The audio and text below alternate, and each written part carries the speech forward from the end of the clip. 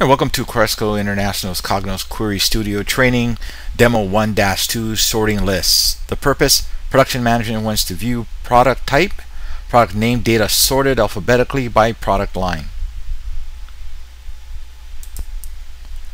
Expand product and add product line, product type, and product to the query.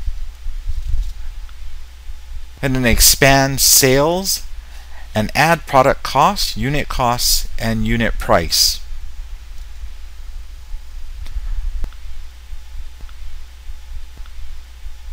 Select the product line column, click sort on the toolbar.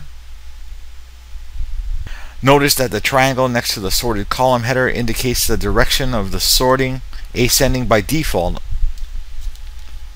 To sort descending order, select the sorted column and click sort again.